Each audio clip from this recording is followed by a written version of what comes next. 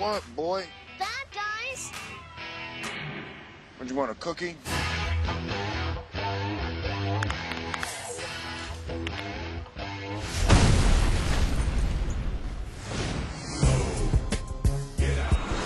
Hancock's latest act of so-called heroics took a hefty financial toll. You save people's lives every single day. People should love you. I look like I care what people think.